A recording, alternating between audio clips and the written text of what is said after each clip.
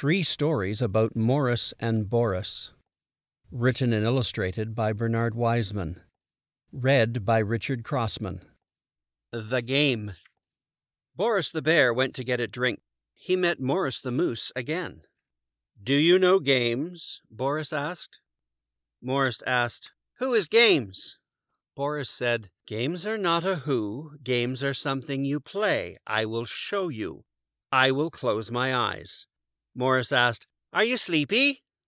No, I am not sleepy, Boris cried.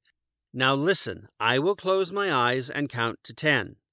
Morris asked, How can you count to ten with your eyes closed? I have to count like this one, two.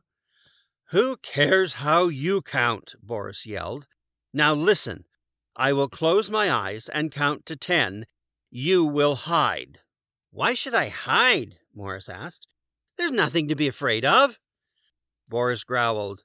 Listen, you will hide.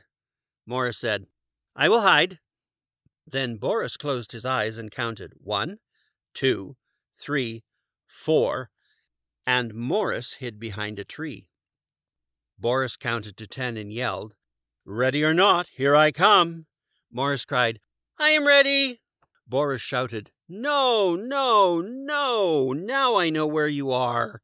You must not say anything, just hide and let me find you. Now let's do it again. Boris closed his eyes and counted one, two, three, four, and Morris ran to hide behind a rock.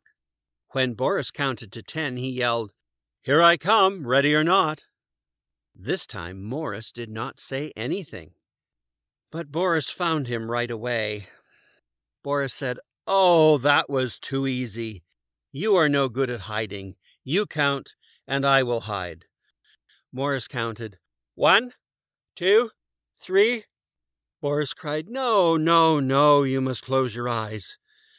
Morris said, I cannot count that way. I have to count like this. One, two. Who cares how you count? Boris yelled. Oh, just close your eyes for a while, then try to find me. Morris closed his eyes. Boris ran to hide.